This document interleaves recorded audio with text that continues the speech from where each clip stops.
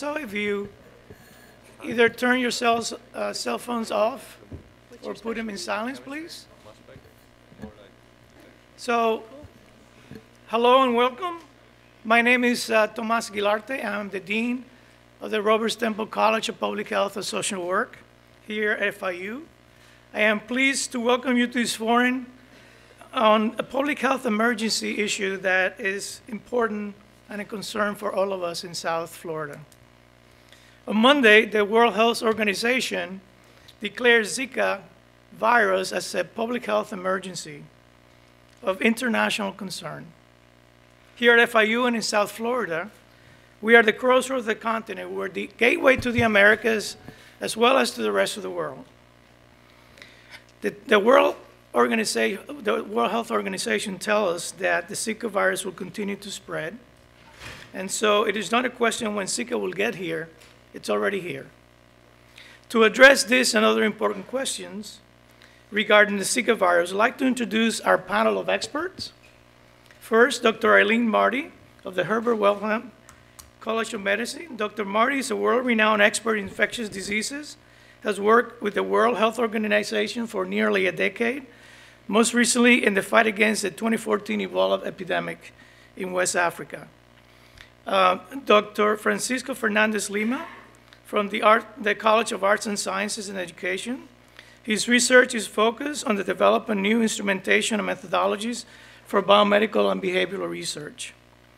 Dr. Matthew DeGennaro, also the College of Arts and Sciences and Education, is a neuroge neurogeneticist uh, with 20 years of experience in biomedical research and runs the laboratory of mosquito genetics and behavior at FIU. From our Robert Stempel College of Public Health and Social Work, Dr. Consuelo Beck-Sague, she's a pediatric infectious disease specialist, and during her 19 years as an epidemic investigator in medical epidemiology at the CDC, she led dozens of investigations and studies. And finally, uh, Dr. Carolin Lusby from the Chaplin School of Hospitality. Her vast experience in tourism industry has helped to identify and address potential negative impacts of people, culture, and the environment. Welcome to all the panelists. First, I would like to give the panelists uh, a few minutes to provide their own perspective on the Zika virus and the spreading of the Zika virus. Uh, and then I will um, give some questions and discussion, and we'll open up the, uh, the question for the, uh, for the audience. Um, Dr. Martin. Good morning. Hello, everybody. Uh, yes, Zika. Um, Zika is named for the Zika Forest, which is a, just a small stretch of land in the Entebbe Peninsula in Uganda, right uh, on the edge of Lake Victoria. Why? Because that, that's where we found some monkeys that, uh, excuse me, one particular rhesus monkey that had a fever, and they had the wherewithal to be able to detect and identify it as a new virus. And that's really an important thing to know, that if you seek, you will find. And one of the reasons that we're starting to become so aware of Zika is because in, uh, in 2007, there was an outbreak of Zika in the Yap Islands. It looks a lot like dengue, it looks a lot like chikungunya, but the doctors there said, eh, it's a little funny looking not, not quite the same thing. Let's figure out what this is. And they did. And they were able to recognize that it was a different virus that affected, in the end, about three fourths of the population.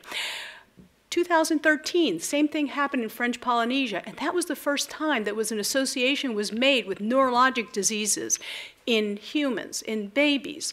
And now we've seen this tremendous outbreak in uh, South America, particularly in Brazil, where there's over 4,000 babies that have been born with a disease that occurs in a background of about 100 cases a year. So this is really a dramatic increase. So there is a spatial and time link to this virus, which, by the by, is not exactly the same Zika that was first described in Africa. It's changed over time, and that might help explain why we're seeing what we're seeing now. Hi, my name is uh, Francisco Fernandez Lima. I'm, uh, I'm from the College of Art Sciences. Um, well, my perspective is more on the prevention of diagnosis. We are more like, we're looking at the molecules inside living cells and things like that. So what I want to point out is in the case of Zika, you know, it's, it's, a virus and it's changing constantly. So the prevention is very important, but more than that, the diagnosis, you know, early diagnosis is what actually, you know, will help you, you know, go through the disease. So there are multiple groups, you know, across the country, and especially here at the FIU, that are actually working on this type of question, you know, how we can detect these molecular changes, you know, early on, do it relatively cheap, and provide that at, you know, at the point of care. Hi, I'm Matt DeGennaro. So I study the genetics of mosquito behavior, and can I have my slides, or are we going to do them now? Okay. So I guess they're not ready. All right, but anyway, so I can. Um, my work basically is about how the vector finds people, and the. All right, great. So here is the vector here, Aedes aegypti. And it is known, uh, I don't know, many of you may know that this is the world's deadliest animal. It is responsible to, for 725,000 deaths a year. Although humans are pretty deadly too, actually. Um, and um, there is a lot of new strategies that are evolving now to try to um, prevent uh, mosquitoes from biting people or create um, wild, uh, so we can change the wild populations of mosquitoes potentially through genetic modification to make them resistant to disease. So one way is to introduce an uh, antipathogenic agent that will prevent the transmission of disease. So basically prevent the mosquitoes from becoming sick with these illnesses, because actually these viruses and malaria also infect the mosquito as well as affecting pe infecting people. So it's not like it's a good thing for mosquitoes to have these viruses or uh, the plasmodium that causes malaria. So people are developing ways to change populations, and these can be very, very low-cost solutions because it doesn't involve the traditional methods of spraying and constant mosquito control. Um, and just one example of this is the uh, Wolbachia. So Wolbachia is uh, an insect parasite that lives in cells. And what you may notice here is that this is stained for Wolbachia in green and dengue in red. And you can see that the dengue cells do not contain Wolbachia. And so Wolbachia is excluding dengue infection from cells. And so there is a um, large effort supported by the Gates Foundation, and it's called uh, Eliminate Dengue, where they're trying to release Aedes aegypti mosquitoes that carry Wolbachia to prevent the transmission of dengue. Normally, Aedes aegypti mosquitoes, which is the vector of uh, Zika and chikungunya and dengue and yellow fever, does not have Wolbachia. So a laboratory in Aus Australia created this mosquito and is now breeding it and releasing it and doing field trials. But I don't work on that stuff at all. Um, I work on how mosquitoes are attracted to humans. So female mosquitoes are the only mosquitoes that bite. Males do not bite. Males live on nectar, actually. But uh, females sense at a distance body odor and CO2, and then they move closer to the host, to the human host. Then they encounter body heat, and that further attracts them so that they, they, so they really know this is a good target for, for the mosquito. And then they land on the human host and then they taste the skin with their legs and then they find a place to bite. So um, what we don't really know is the genetic basis of this. And so I am working on the odorant receptors that mosquitoes use to find people at a distance. So they, they smell, uh, you know, this is basically how they smell humans. So, and if we understand what these odorant receptors are, which ones are important, we can design new attractants and, and repellents. And uh, I can discuss why you might want an attractant that may seem counterintuitive, but it can be very useful. Dr. I just want to do like a 60 could you use a microphone, please? I'm going to do a 60 second, three point, um, three bullet um, statement and because I, I don't want to uh, take a lot of time from the conversation that we're going to have today. But my three second thing is um, first of all, um, every agent that is sexually transmissible is not necessarily sexually transmitted, a sexually transmitted disease. This is primarily a vector-borne disease, a mosquito-borne disease. Secondly, even uh, diseases that are very mild, uh, generally speaking, when you have an explosive epidemic, you can see a very, the very wide range of the natural history of the disease, and you can see a sizable um, increase in the burden of disease if it's large enough to actually have these uh, more unusual uh, manifestations come out. As a pediatrician, as an infectious disease person, as a mother, um, I know that you know that even though it's a very tiny proportion of um, the, the morbidity and mortality caused by, um, by Zika, um, the congenital defects are a major, major uh, part, major, the most probably, in, in my mind, a very important part of the impact of this, of this disease. And the third thing is always epidemic investigators are asked, this thing was around for a while.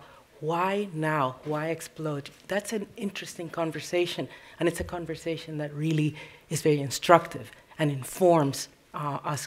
We learn a lot from each epidemic, and many epidemics that are very, very different teach us a lot about the next epidemic. Thank you for giving me this time. Dr. Lusby. All right, good morning, everybody. so tourism is interesting, right? Because um, we think that the virus actually ended up in Brazil for the 2014 World Cup, right? So last year we actually broke the 1 billion tourism mark. That means we had over 1 billion international tourists traveling. With so much people flow, there is always um, risk for diseases to travel around the world, right? And Brazil is an interesting case study because we have 6 million visitors that go there each year. And we have the Olympics coming up, which of course you guys are aware of, right? Brazil expects to um, have about a half a million tourists for the um, Olympics, international tourists. But before then, we actually have something else coming up in Brazil, which is going to draw the same crowd, and that's um, the carnival, which is happening this weekend. So um, big numbers of international tourists, and what that does to the flow of diseases and the flow of people is going to um, impact South Florida potentially more than Americans, we have about a half a million Americans that go to Brazil each year, but more than Americans, we have Brazilians traveling to Florida. There's about 1.6 million Brazilians that come to Florida each year. Um, tourism in Florida, if we are getting too panicky, and that's what the um, United Nations World Tourism Organization warns of, could actually lose a lot. We have 90, 98 billion um, million tourists that come out of state and internationally to Florida. Our income is 82 billion, 82 billion dollars spent in Florida from tourist expenditures. So when we look at the wider economic implications of a potential panic uh, reaction, we could lose a lot. And we'll talk about that. Thank you. Uh, Dr. Marty, I'd like to uh, pose the first question to you. Uh, the World Health Organization has made two very powerful statements rapidly spreading in, in South America and a public health emergency. Could you please put into context these statements? And can you also tell us whom does the virus affect and how does it affect them? Right. Well, the first part, the, the rapid spread, Consuelo alluded to it, and that is the fact that uh, it's entered a susceptible population, people who have never encountered this virus and have no uh, natural immunity to it. So that's part of the reason that there's a rapid spread. It's also new to uh, Aedes aegypti uh, as a major vector. Okay, in other places, whatever the Aedes mosquito is has been the major vector. So there are a lot of different Aedes mosquitoes. In, for example, Yap Island, it was uh, Aedes hensilli that was the major vector. So now we have a susceptible mosquito and a susceptible population, and it's growing like crazy. One thing we're concerned about is Aedes albopictus, because albopictus can go into temperate areas, and it's here in the United States, as well as Aedes uh. So uh, it, we're not 100% sure that albopictus can also transmit it, but we suspect that it can, since it also transmits uh, chikungunya and dengue, which, as we know, we have endemic cases right here in Florida on a constant basis. So that's about the spread, and that's one of the reasons we're so concerned. The second thing is the declaration of this as a public health emergency of international concern. And I uh, have been in close communication, even though I literally just got back last night from Africa, uh, with individuals who are on the panel that made the recommendation to Margaret Chan that this uh, be the case. Now remember, it's been declared, declared a PHEIC, public health emergency of international concern, as a microcephaly and neurologic problem, not as Zika virus itself. And that's an important difference. And it is this uh, new uh, newly recognized issue with Zika, which, uh, as I mentioned earlier, was originally first described when it caused an outbreak in 2013 2014 in French Polynesia and has now caused a massive problem in Brazil that is making this come to the forefront because, as several of my uh, colleagues here have mentioned, that is the gravest problem. Uh, uh, one thing I, I, could add about the different vectors. So one of the things I put that slide uh, up about Wolbachia, actually, one of the differences between Aedes aegypti and Aedes albopictus is that Aedes albopictus actually has Wolbachia. So it may be competent to transmit the virus, but it's not going to be able to transmit it as well. And here in Florida, we have Aedes aegypti, and it's one of the few areas of the United States where we actually have it. So, um, and Aedes aegypti is a much better vector for dengue, chikungunya, Zika, et cetera. And I, I do think that we need a lot more study to figure out how competent uh, albopictus is. But I think for people in Florida, I think we have to be more concerned because we have the likely most competent vector for, for Zika.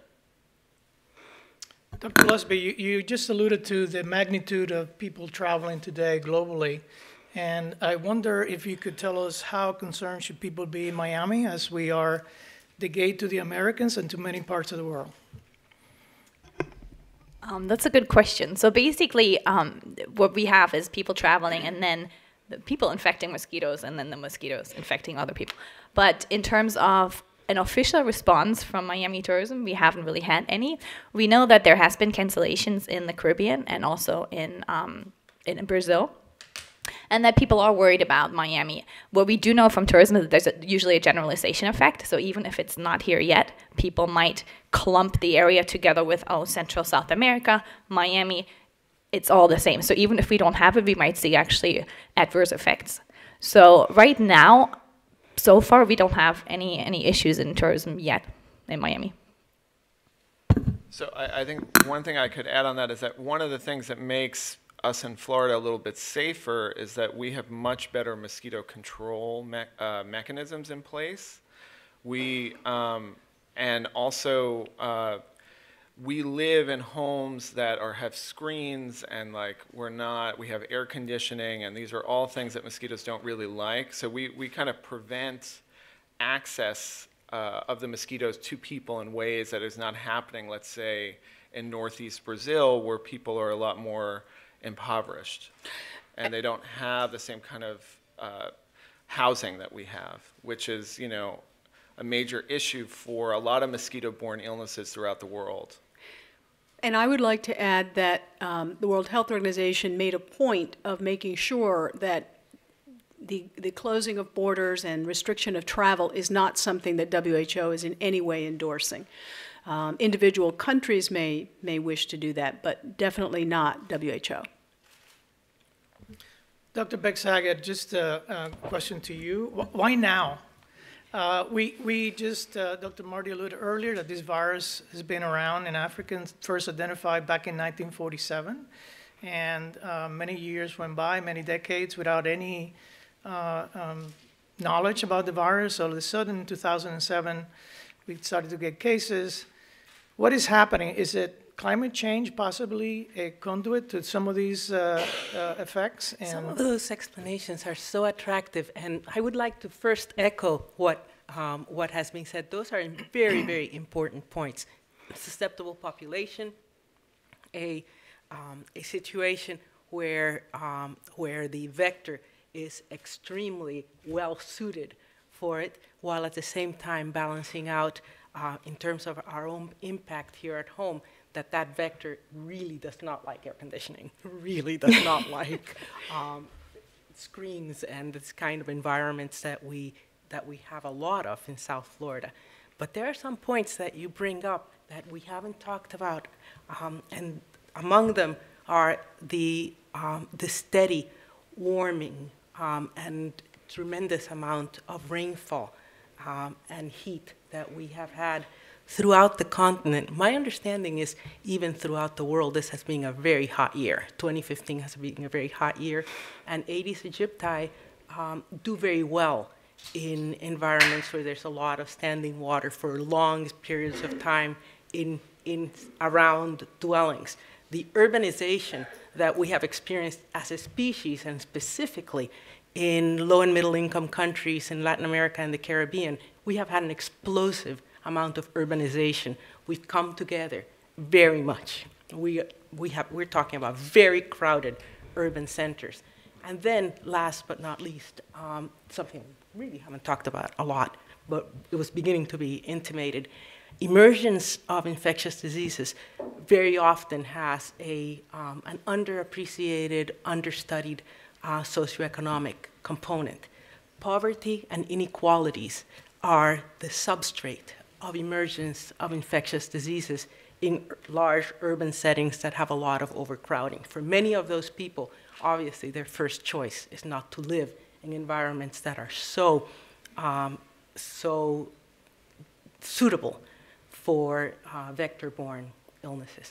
And I would like to uh, uh, dovetail on that and say a couple of things. Number one, that increase in temperature speeds up the development of the mosquito dramatically. So a one degree change can change the time that it takes a mosquito to go from egg to larva to pupa uh, to adult from a, a week or two to a few days. So you have that many, that much more growth. Also, that increase in temperature speeds up the amplification of the virus inside the mosquito. So you have a double reason why that increase in heat has propelled and made this such a dramatic increase in cases. Um, and last but not least, addressing your issue of you're both right, of course. We, we have air conditioning, we have screens, but these are day biters. And most of us go outside during the day. And so we have to be, bear in mind that unlike um, the mosquito Anopheles that transmits uh, mainly at night or dawn and dusk, these Aedes mosquitoes will bite you in the middle of the day dovetailing on that, just one more little dovetail.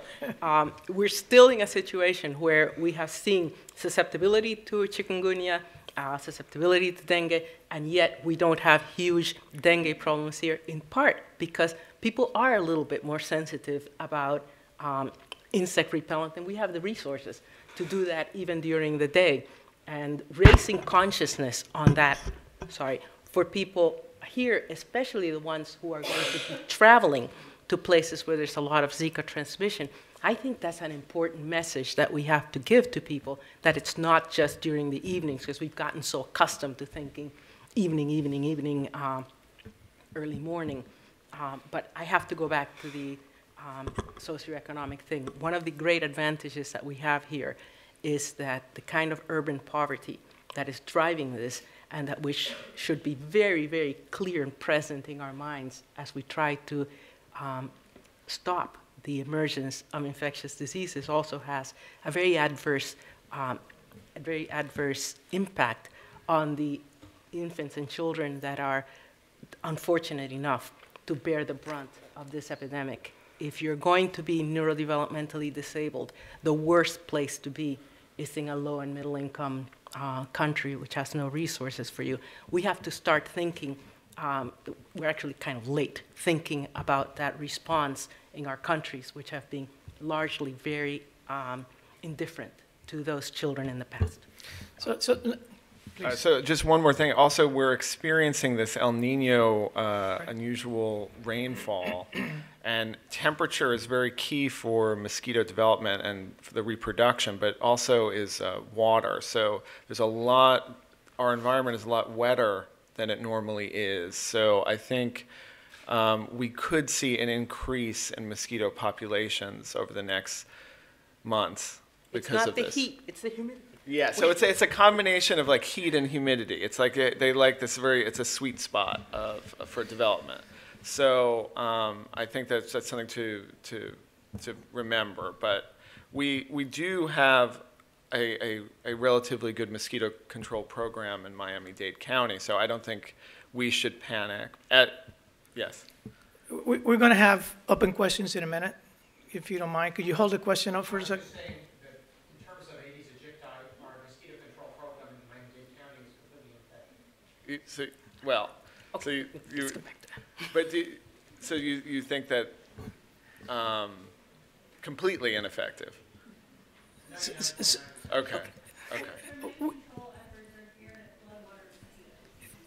uh, If you could please hold on the comments and question, we are, I promise we're going to have an open questions and comments. Uh, and, and just one thing about that, you know, some people are concerned about the repellent DEET and that it has possible like negative effects. It is a very, very, very safe repellent, and it is useful when it is applied uh, every few hours, depending on how much you're sweating and how warm it is and things like that. So I, I think if you're traveling in particular, or if you're going to be outside all day and you're in an environment where you know there's going to be a lot of mosquitoes, I would recommend everyone using the repellent. It may smell a little bit, but I think it's, it's worth, worth It's it. worth it. Yes. Yes. Not to mention that uh, both CDC and WHO uh, also has approved three other possible ingredients that also work equally well, almost equally well. Uh, They, some last a little longer tho- than others. Picaridin R, R3535 and oil of lemon eucalyptus could be used instead of DEET if you don't like DEET. But, but the, the thing is, I, I actually did a lot of work on DEET during my, my postdoc and worked on the molecular mechanism of how it worked.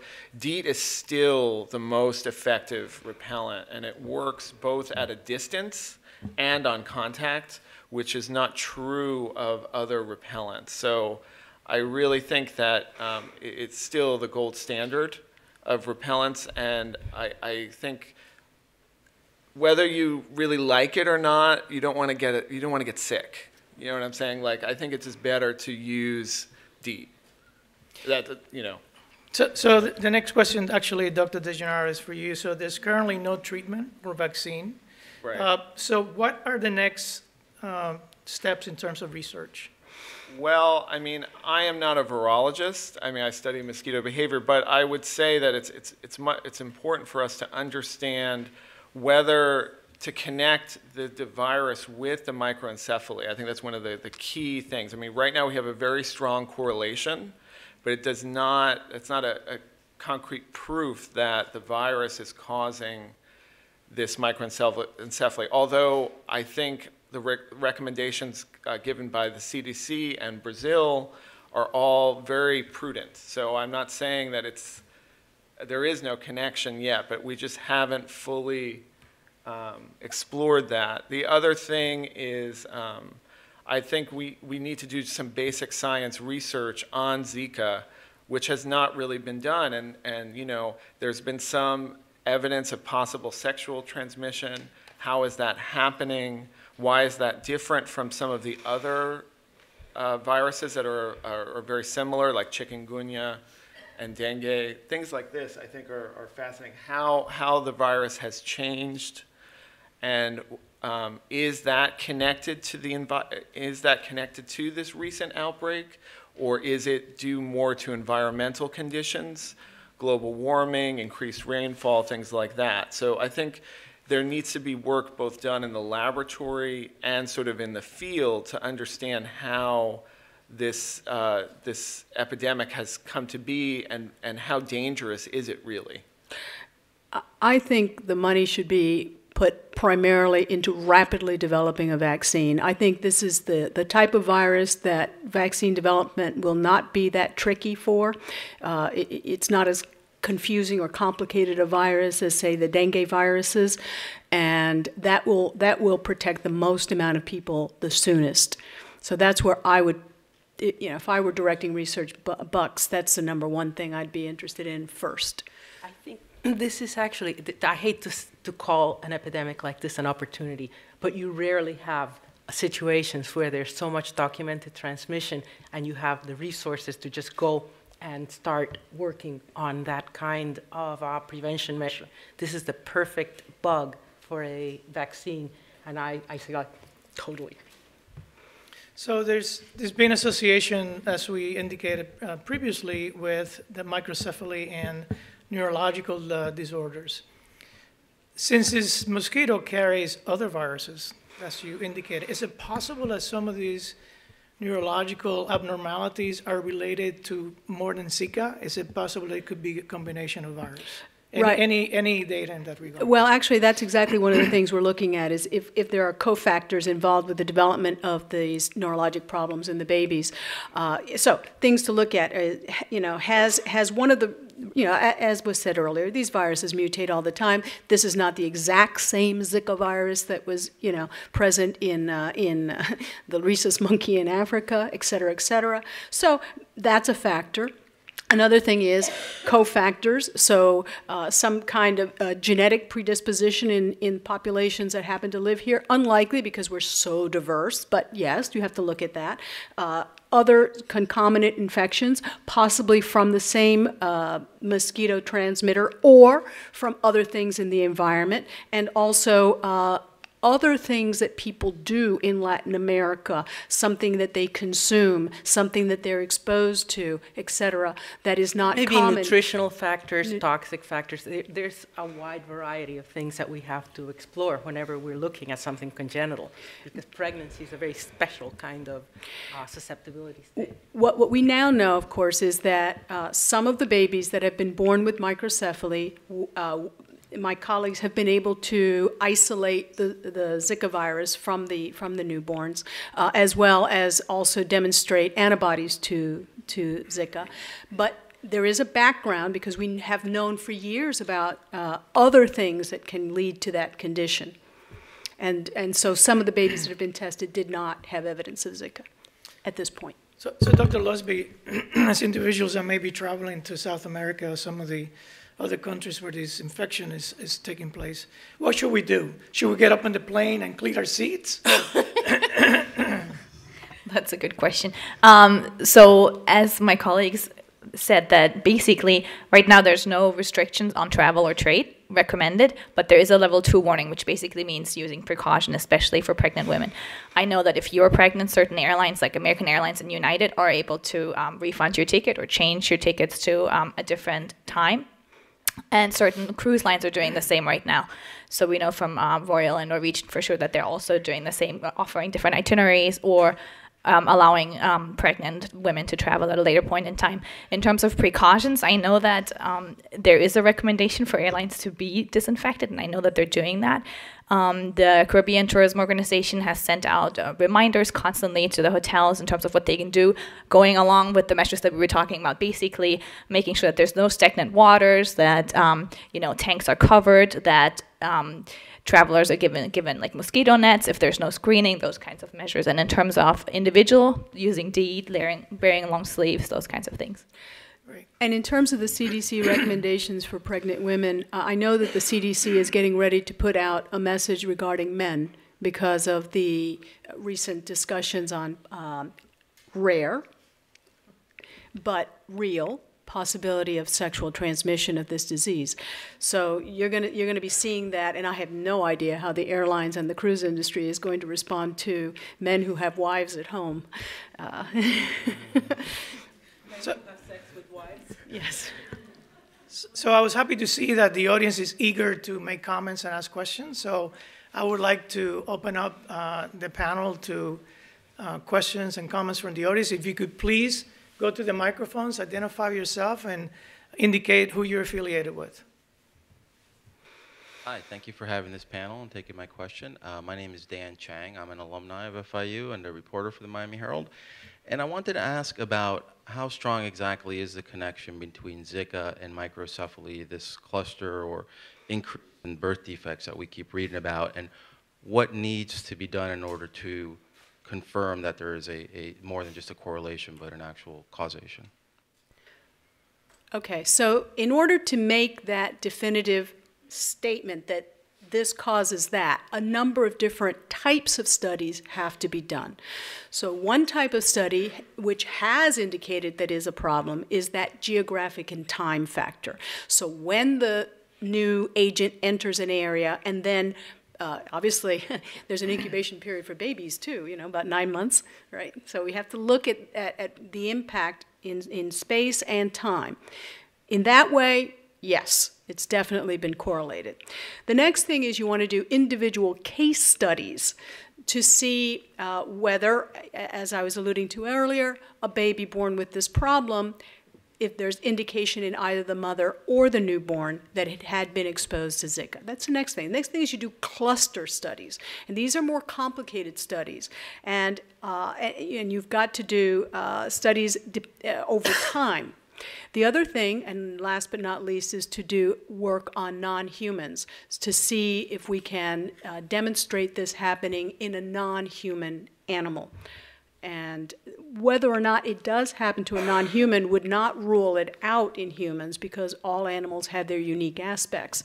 And humans might happen to be more susceptible or not, but still those studies also need to be done and confirmed. Consuelo? Uh, there's another, um, another type of um, study that we do when, we, uh, when we're looking at an epidemic, and those are typically epidemiologic studies. Um, in this case, one, um, what what's underway are case control studies and cohort studies, and while those typically um, do not say cause and effect, they say strong statistical correlation.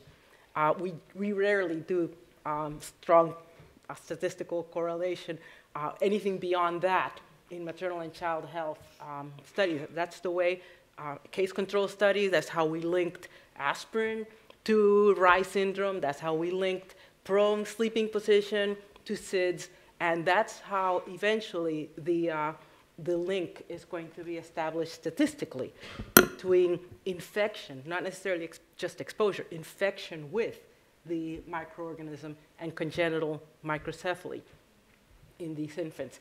Uh, all of those things are, are actually, um, the, st the, studies kind of like support each other, and that's, that's the one that's, already, that's on its way, but it's not completed yet.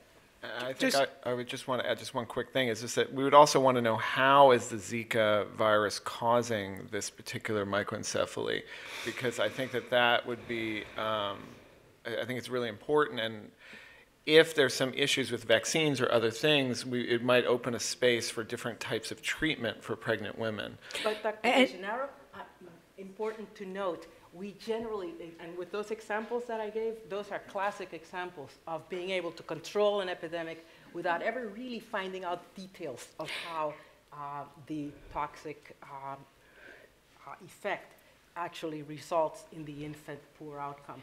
Um, this is like an emergency kind of thing that's also um, Dr. Marty and then part of the story. Yeah, and I, and dovetailing on both of you, uh, you know, we, we've known for a long time that this group of viruses uh, have a love, so we call it tropism, for neurologic tissues. So Spondweni group viruses, to which Zika belongs, is, is, a, is a virus that is a group of viruses that are known to have a, a love for neurologic tissues.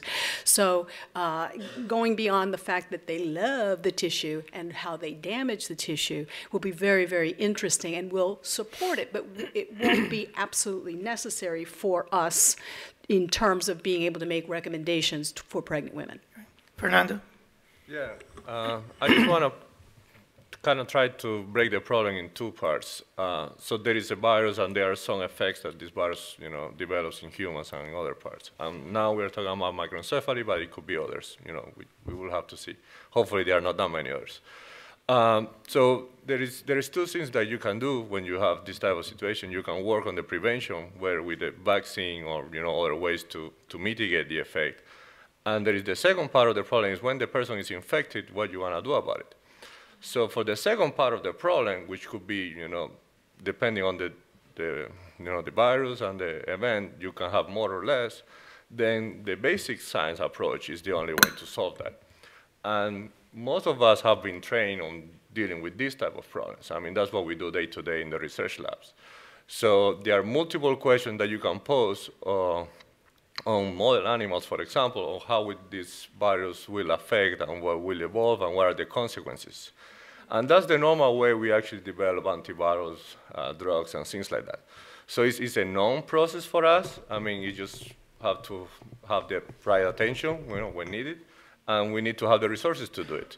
So, you know, as we go, there are a lot of researchers that work on mosquito-generated uh, disease, and, and there is a large background of information that we can use when there is a new virus showing up, you know, one of the smart things to do is, you know, get those people and put them to work on the problem. You know, there are people that need to work on the prevention, and there are people that need to work in the solution of the problem when it appears. Let, me just put in context uh, the association with the microcephaly. So in 2014, the number of cases in Brazil in, in a year was about 100 to 120 cases. Since the Zika virus, the number of microcephaly cases has gone up to about 4,000. So that gives you an idea of why this is an important association and we need to understand it. Dr. Lusby, I think you wanted to make a comment? No? Okay, so next. yes, good morning and thank you. My name is Richard. I work for the Department of Defense, UN Southern Command. Uh, we potentially bring a huge logistical capability uh, to help out uh, through multilateral uh, engagements, as we did in Haiti for the earthquake. My question is, are, are, there, um, are there any multilateral, multinational responses that can leverage the resources of large organizations such as the U.S. military as well as militaries downrange or other organizations? Um, uh, and what can we do to help this out? Or are really just helpless and just all we can do really is just say, hey, please close your windows, please use screens. I mean, is there something out there that can, that can be brought to the table by governments other than just advice? Well, I know Brazil is actually yes. using the military, and they are going through Rio into the backyards and actually basically spraying and trying to take any stagnant water out. So that you know, and that is a uh, an international effort as well. Hoorah! Twenty-five years Navy. Okay, I know what the resources that the U.S. military has to bear, and they are tremendous and extremely useful. Not only in terms of personnel going door to door spraying mosquito stuff, far beyond that. We have uh, the Walter Reed Institute of uh, Infectious Disease Research. We have USAMRIID. We have uh, uh, various different types of surveillance programs. We have wildfire, and these capabilities, I know for a fact, are already being harnessed to a degree, and there's communication going on at different layers of government as it is. Uh, oftentimes, what the military does, and it's a tremendous amount of excellent work in regards to public health, uh, is not well known because it's passage through the CDC or whatever other institutions. But the reality is, you betcha, we have a lot of use for the resources of the U.S. military, and I'd be happy to go back to Southcom and have a personal one-on-one chat with your commander. And, and I, I'd just like to add, so the insect repellent DEET was actually developed by the military in, uh, with the USDA. So you know, the, the Department of Defense has an important research aspect as well, and that, that was done because so many people had died during the, in the Pacific Theater due to vector-borne illnesses. And so with the sustained effort of the military and the US, USDA, we were able to develop this repellent, which is still used today. So I think that there's a, a great role for the Department of Defense, and I think I can understand why the Department of Defense would be interested in this particular problem. Just a comment before we take the next uh, um, person from the audience. So DEET is not an issue in terms of um, um, usage of in adults, In but there's adult- some there's some concerns about children under two years of age. Right, Could so- you please expand on So, that? all right, so the reason why children under two, it's not recommended, is because DEET is not great if you ingest it. And babies have this tendency to touch their skin and things like that. So it's like, uh, it's basically like, just don't ingest it. So that's why it's not useful for uh, young, chil- very young children. Next person from the audience. Hi, my name is Monica Flowers. I'm a nurse practitioner. I'm also a clinical assistant professor in the College of Nursing, and I'm currently six months pregnant. So this is thank you. Except bad timing. Um, so I do have kind of like a three-part question. At any point in fetal development, is the baby considered safe if the woman is to contract the Zika virus? I, I would say that there, uh, there are periods during pregnancy where the risk is greatest.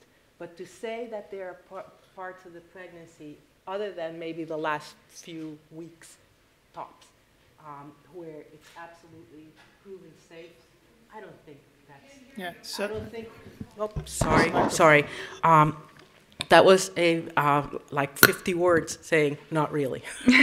um, there are definitely periods in pregnancy where the risk to any kind of, um, any kind of de- n- neurodevelopment is maximal.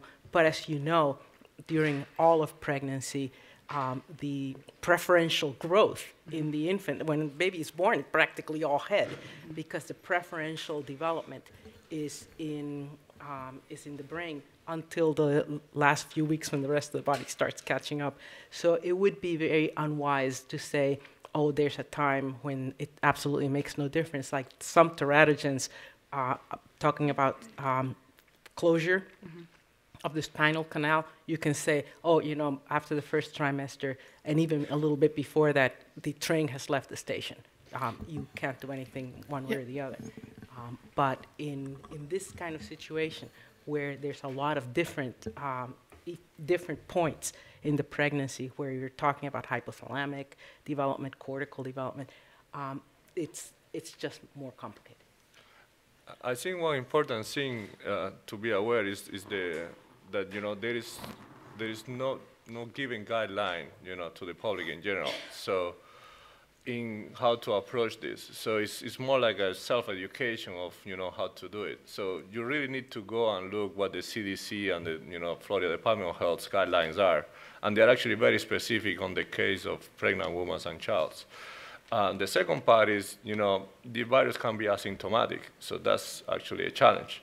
So that means that, you know, and we do not have a commercial test available. However, there are actually tests provided by the CDC and the Department of Health.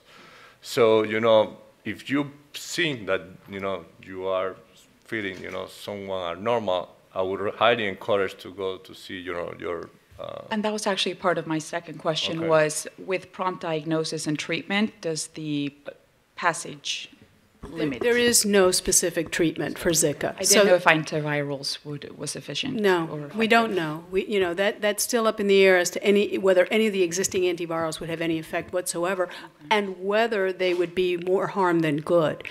So, uh, but, but for counseling purposes, you would want to know, and there's a schemata that the CDC has recommended if you're pregnant and you think you might have been exposed. Uh, Nonetheless, it's a, it's a complicated and I certainly wouldn't take the risk if I were uh, No, pregnant. I'm planning on covering myself with DEET from now on. So, um, and my last question. So, I apologize for anybody that has to smell me for the next three months.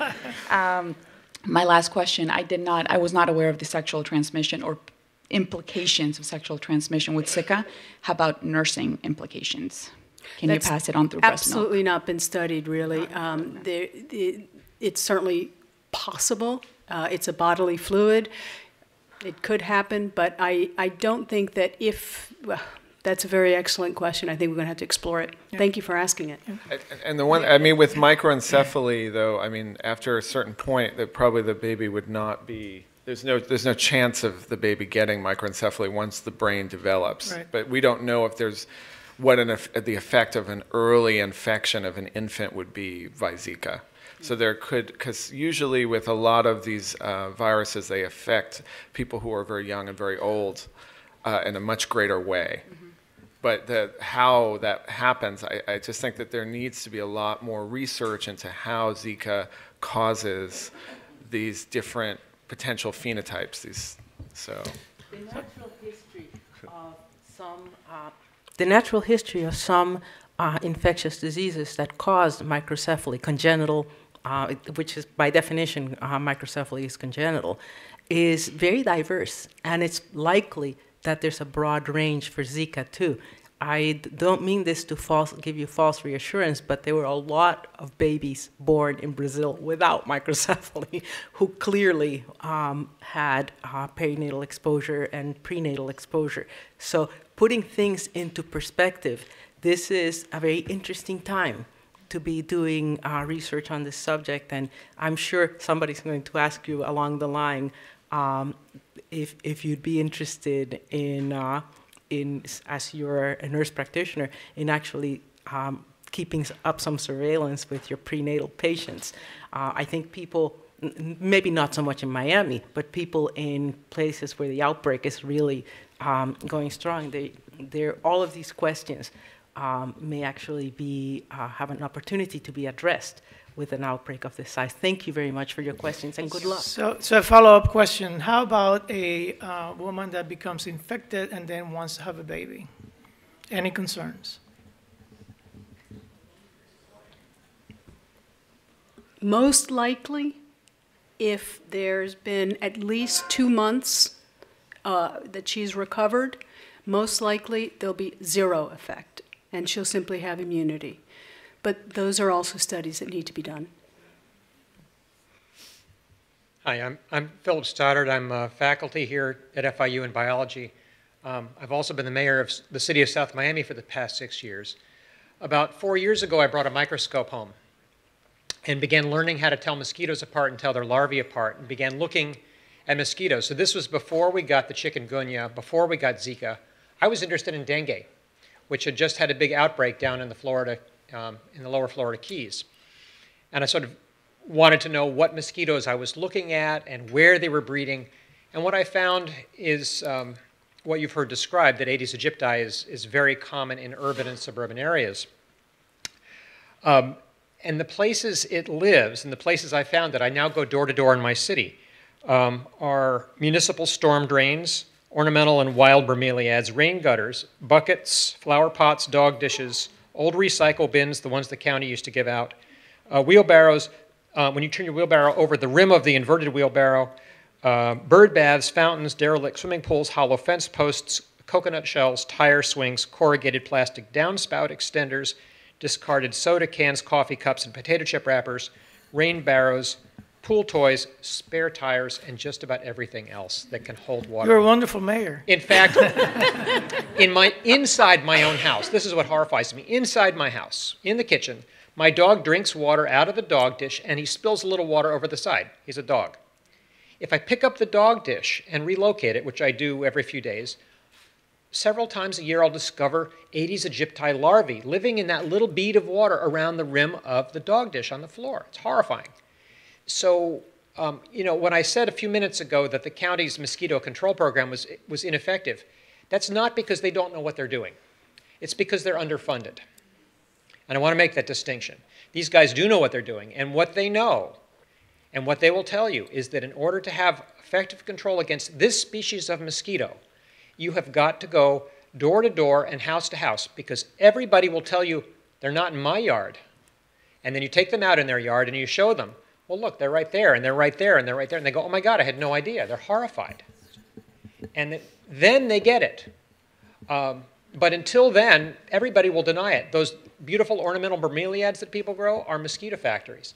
In fact, in Miami Dade County and in the city of South Miami, you're not allowed to have bromeliads in your yard unless you keep mosquitoes from growing in them. Now, if you take a turkey baster to everybody's bromeliads, guess what? They're full of mosquito larvae. And mostly it's a, um, it's a genus called Wyeomyia, but you'll also find Aedes aegypti in there. They're everywhere.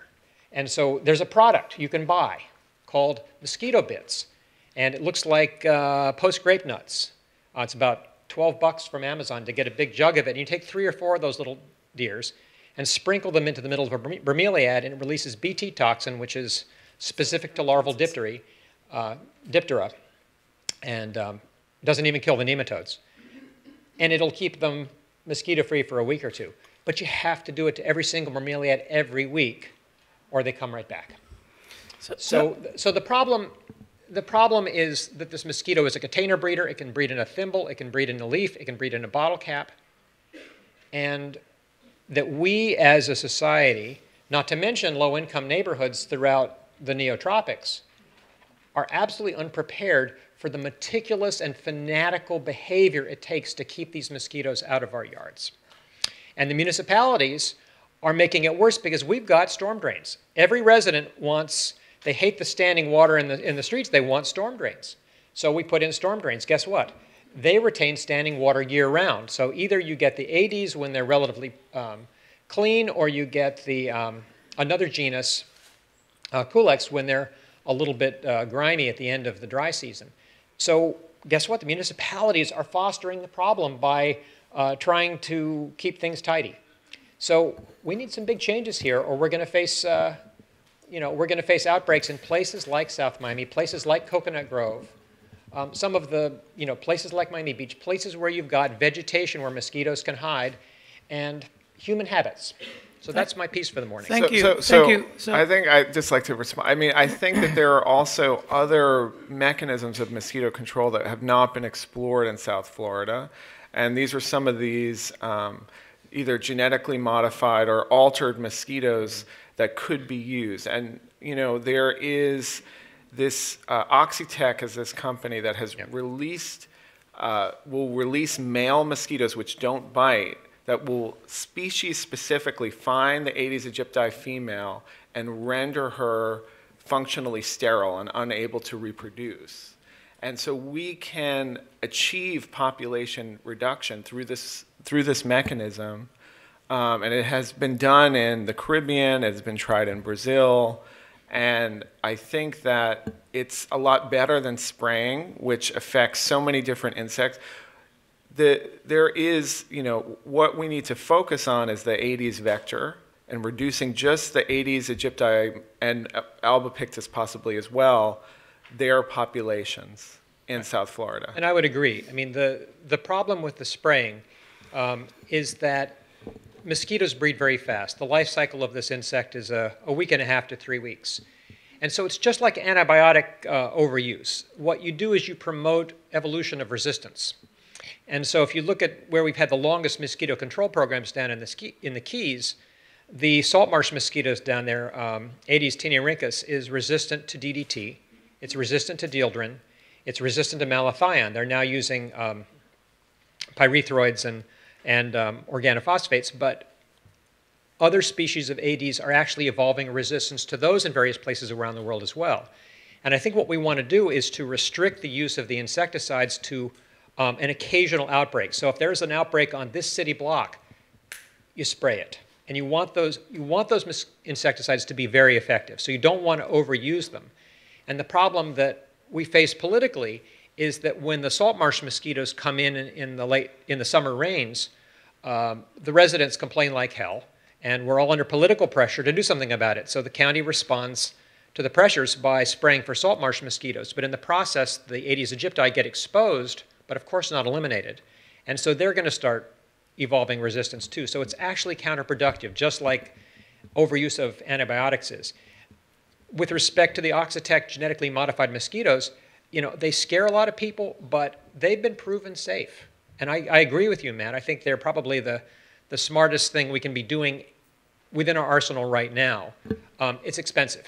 And so, but so is going house to house. Yes. And so is, is, so is taking on a flavivirus um, epidemic, you know, be it chikungunya or dengue or, or Zika. They're all expensive. If you're going to spend the money, I would much rather we act intelligently and knock out the mosquitoes now and teach people how to do it than have to deal with the brunt of a, a viral outbreak. Yeah, thank, I, thank I you for your comments. Uh, can we, um, I'd just like to uh, quickly respond. I think we all agree that more resources are needed. Uh, I think we need to be proactive rather than reactive. And in order to do that, more funds are, are required. So we need to talk to the politicians locally, at the state and the national level uh, for, for those funds because there's a lot of questions that need to be answered and they can't be done without resources. Next. Hi, my name is John Quintero. I'm a student here at FIU. I'm a member of the American Academy of Environmental Engineers and Scientists. I wanted to know, considering that there's no treatment or vaccine, if we know how long the, the virus stays inside of the body. We know that when the, um, people who have had the virus and recover, uh, after about six weeks, we can no longer, um, you know, identify virus. But the reality is, by RT-PCR, it's usually gone within a, a week or two of them becoming symptomatic. So um, the longest that it's been identified is six weeks out. But in, in, in practical terms, it's generally uh, something that you can only really detect either by isolation uh, or by RT-PCR uh, very soon after acute illness. Thank you.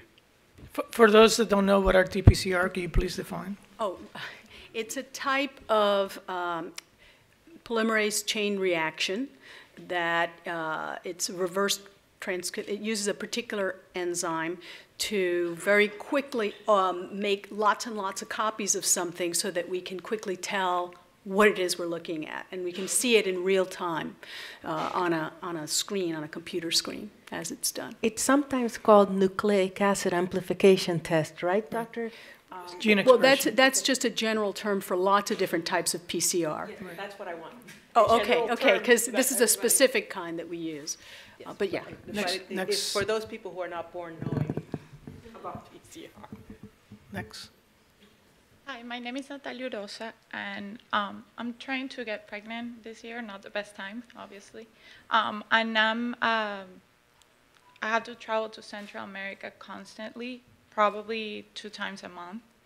Um, is there any way that I can probably um, do both? I don't know how often can you check if you have the virus on you when you come back from that country, or you wouldn't recommend it at all to travel uh, to Central America? Um, The current recommendation for a person with your situation that has to travel but is also trying to get pregnant is to take personal protective measures and do those uh, you know, to a, as high a degree as you possibly can to avoid getting bitten by mosquitoes. So the right clothing, the right color clothing, the uh, DEET, if you will, or picaridin. I actually prefer picaridin. You can prefer DEET. I prefer Okay, picaridin. okay. It's a, it doesn't stink and it doesn't damage your electronics like DEET does. You just apply it a little bit more often, that's all. And it's, you know, safe for the babies. So that's the one you find in family versions of pick your favorite brand of insect repellent. Um, and that's what I would do if I absolutely had to go and also was in your condition. And that is the actual current Center for Disease Control and WHO recommendation. Thank you. Unfortunately, testing, um, you really can't act on the on the test results. Um, so it's and it's since it's not commercially available yet, it's only um, for special situations. Um, it just would drive you crazy. Uh, as a way of preventing. Thank you so much.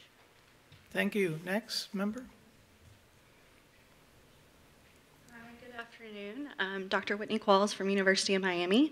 I'm here from the Department of Public Health Sciences. Thank you guys for putting this together. This has been really informative. Um, I, I would like to address how we talk about um, vector control. Um, I think it's really important that we utilize new technologies, but we also identify that it needs to be a comprehensive program.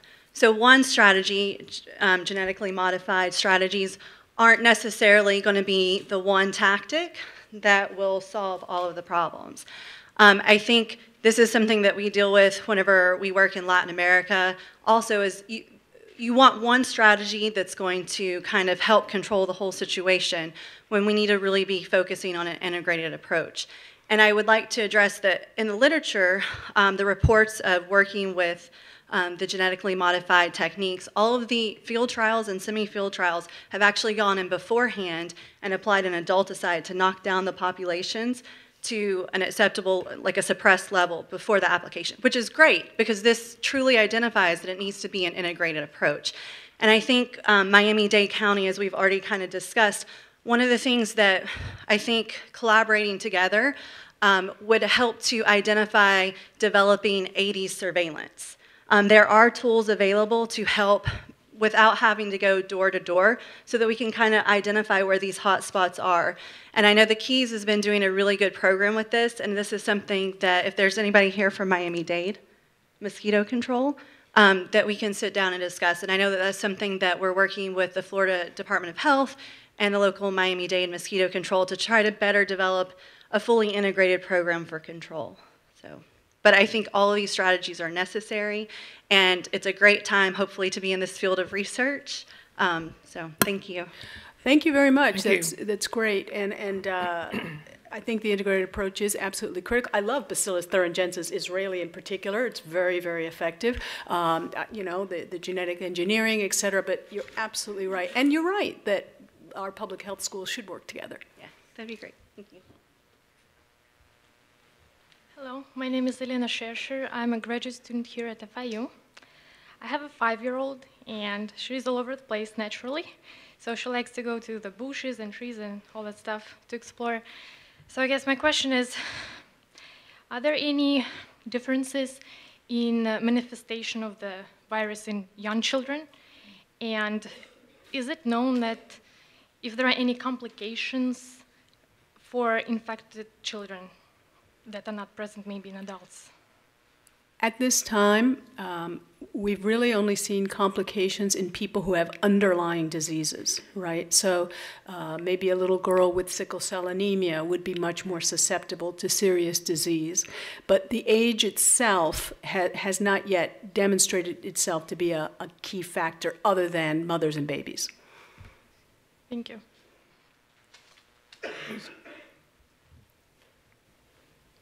Good morning. Um, thank you very much for putting this together and for inviting me.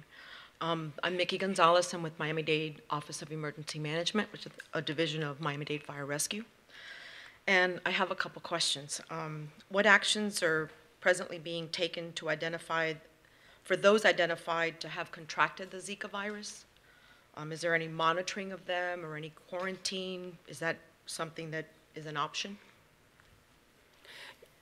Very interesting studies have been done on, on people infected with Zika, and some people, even uh, even people who have been voluntarily infected on purpose, um, don't even have high enough levels of viremia to transmit to the Aedes mosquitoes. Okay. Pick your uh, favorite genus, uh, species, um, but you have you have to be significantly ill from it. I think that's what it looks like for you to have a high enough viremia to be a risk for the mosquitoes. So, and when you're not feeling well, you don't generally go outside where you're more likely to be bitten by mosquitoes.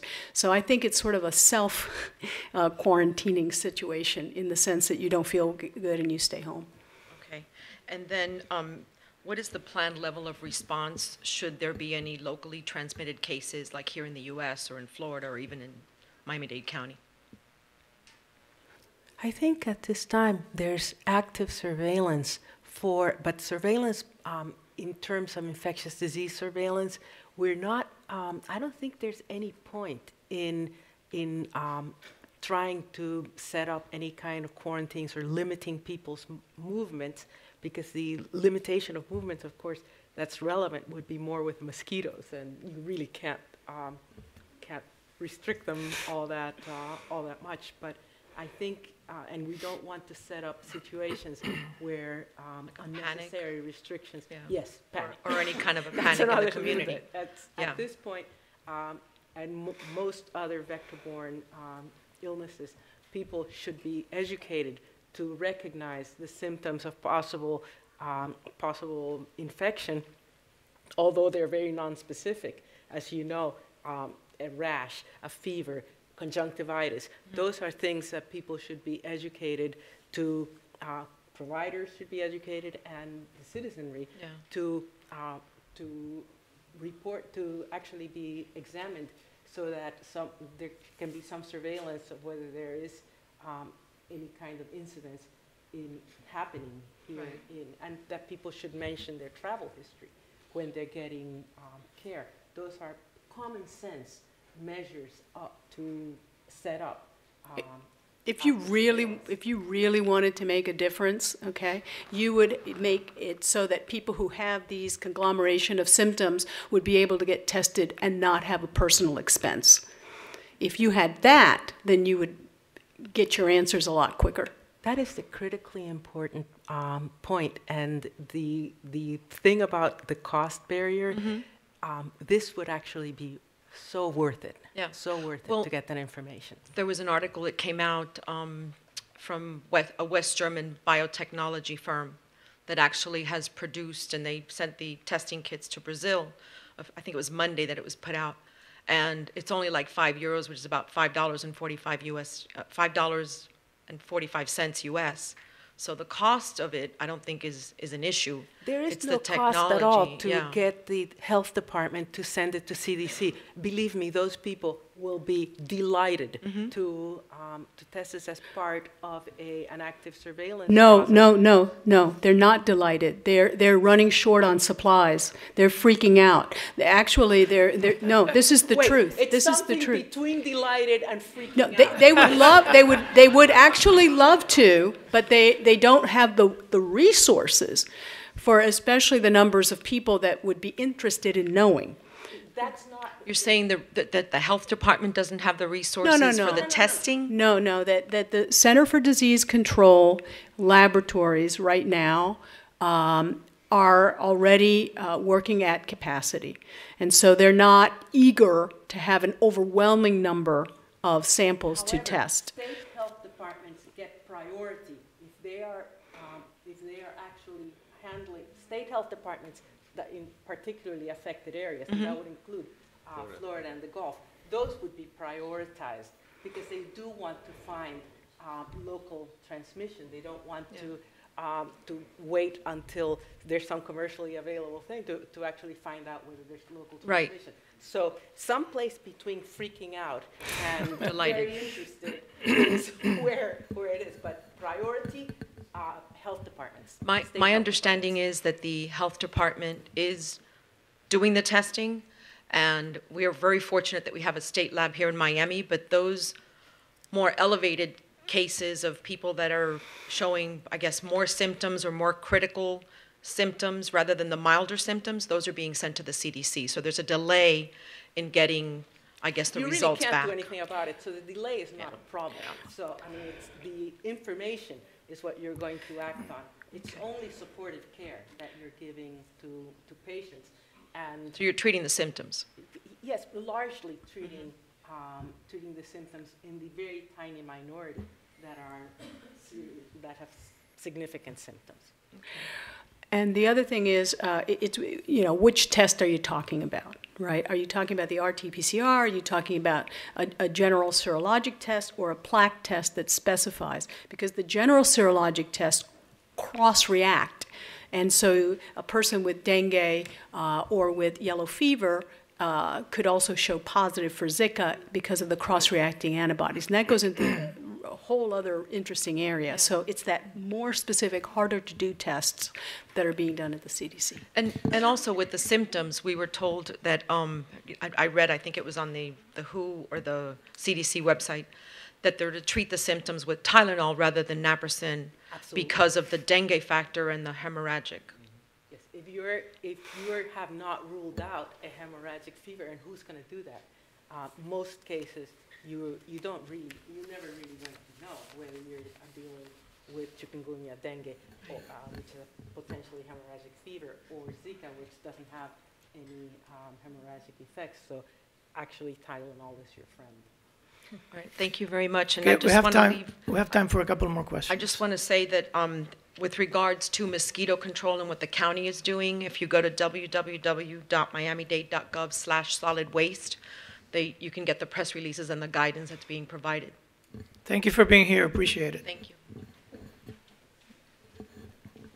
Hello, my name is Olivia Wills. I am actually one of Dr. DeGennaro's students, and I have two questions. First of all, Dr. Marty, you had mentioned that Zika virus is not as complicated as the dengue virus. I was wondering if you would please elaborate on that. And then my second question is what is known about the different strains of the Zika virus and mutagenesis? Well, those are heavy scientific questions, but to, to try and make it so that everybody appreciates what we're talking about, um, dengue a long time ago was identified serologically to have four flavors, if you will. Sometimes it's been argued there's a fifth flavor. So one, two, three, four, dengue. And when you get type 1, say, and you're re-exposed to type 1, you have a protection from type 1. But if the next time you see dengue, it's 2, 3, or 4, then your body has cross reacting antibodies, and therefore uh, it doesn't necessarily work that well. And so attempts to make a dengue vaccine have been complicated by this reality. Plus, we know that uh, when, when, you, when you your body encounters different of the, one, of the four flavors, it has a higher risk that second time around of manifesting in a more severe type of dengue all the way to hemorrhagic dengue. That's something that's not an issue with Zika, although, yes, there are different strains of Zika, just like there's different strains of humans, right, throughout the world. Zika is, you know, you can call me a human and you can call a, a person from Norway, uh, Norway a human or a person from China. We're all humans, but we're not identical. Same with Zika. We're not identical. There's different strains. So um, in, it, we, you know, we're looking at the currently active strains, and it's a matter of trying to simply make something that is uniform across strains, that is also not harmful, and allows the immune system to be ready to uh, combat a Zika virus should it present itself as a wild Zika virus to you. Does that answer your question? Yes, I had read um, several articles online that stated there were two main strains of Zika. One is mostly af from Africa, and the other is from Southeast Asia. Correct, and and and that's absolutely right. And now, once it got into Yap Island, they started seeing modifications and noted that it came from the uh, Southeast Asia uh, strain, okay? And then it, it modified again when, when it was in French Polynesia, and we're looking at what's happening now in Latin America. And most of the infections in Latin America come from the strain from Southeast Asia. Is that correct? That is indirectly correct. Uh, af after the big outbreak in tw uh, 2013 2014 in French Polynesia is when it got to Easter Island, which is technically Chile, even though it's in the middle of nowhere. And, from, and also, it's the strain that's uh, perhaps, as you said, uh, came from the uh, 2014 games uh, into Brazil, also seemed to have come through that route. It could have easily have come from Africa because there's you know worldwide travel, but it seems to have actually come through that particular. Thank you. Uh, next, yes, please. Hello, I'm Jeff Beeler, the Department of Pediatrics Chair for Herbert Wertheim College of Medicine. One couple comments and a couple questions. First of all, we do support the Department of Pediatrics and pediatricians in general support the American Academy of Pediatrics recommendations for the use of different um, medications or preventative measures. I think it's important that we also make sure the public knows that those things that are approved are probably safe and very effective. Those things that are not approved and sometimes used locally by different people um, in my culture from Oklahoma, we use some things that are probably very unsafe. And so people need to be very careful about that. There's even parts of the world where DDT is still around, and I would certainly hate for children to be exposed to that. So I would make that comment. The second was a question, uh, well, another comment. Um, we need to make sure that people who have children, and parents are obviously very concerned, and when they have a child that gets a mosquito bite now in Dade County, there's not an indication, or Broward County, to run to the pediatrician or run to the emergency department and expect testing. We've seen this before. We saw this with Ebola and everyone who had a fever suddenly thought that they needed testing for Ebola. And now we're a little bit concerned that Zika is going to be the next test de jour. Um, some of those tests are not completely studied yet. We're not sure about how sensitive and how specific they are. So comment about that. And lastly, I have a real question, which is what is the distance that this vector travels from my home in, in Coral Gables is that if I'm infected and I get bitten by a mosquito, is someone in Broward County at risk for my mosquito, or how, how, far, how far is the distance of travel? So, uh, Go ahead. Okay, I mean, the, the, the distance of travel is, is not going to be from Miami-Dade to Broward, certainly. Um, studies have been done where um, the mosquitoes can, let's say, like if you're in a, they've been done in a lot of like small villages, small towns, and the mosquito can travel throughout a small town. But, and this would maybe, this is the, the, this is probably less than a mile usually. But the, what happens, you the transmission sort of works more that mosquitoes bite people and then they move around.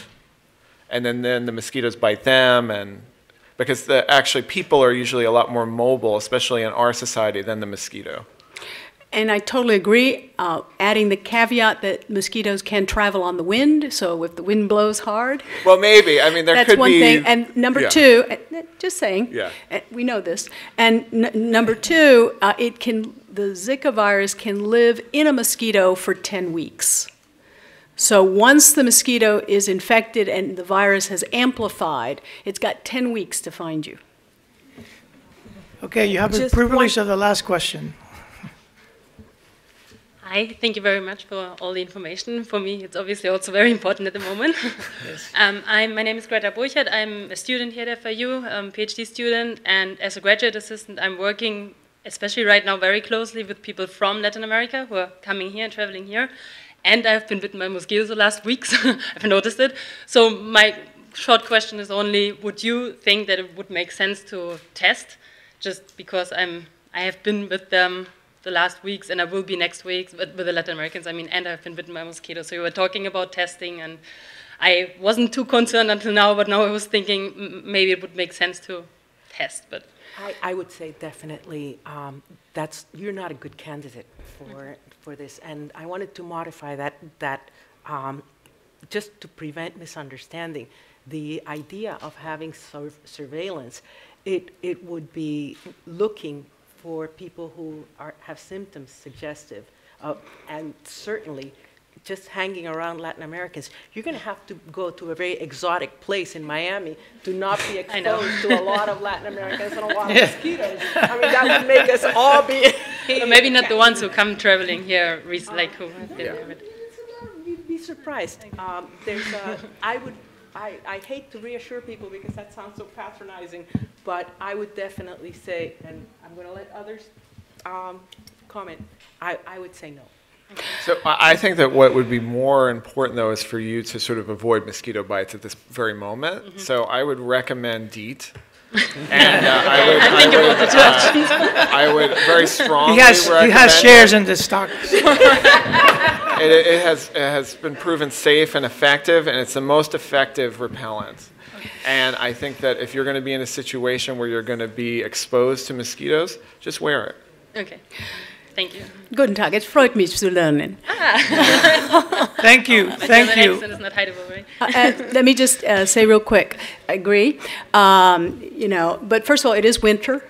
There aren't a lot of mosquitoes around, so you've been perfectly fine. Number two, our, cur- our mosquitoes currently have not been identified to be infected with Zika. So again, not an issue. But yeah, let's be safe, especially since you're how far along? Seven months. Seven. So you, yeah, you, the warmth will come, Yeah. and so will the mosquitoes. Okay, thank you very Thank much. Thank you, thank you. So I, I want to thank the audience, and I want to thank the panel for a great discussion. Uh, Just any final thoughts from the panel? 30 seconds. One second. I am so grateful that people are not waiting for a huge body count in the United States to get interested in this disease. It warms my heart. So I'd just like to, to finalize by saying that this is another example of the immense importance of public health professionals that are out there every day working hard, saving lives, and preventing disease. So thank you very much, and have a great day. Thank you.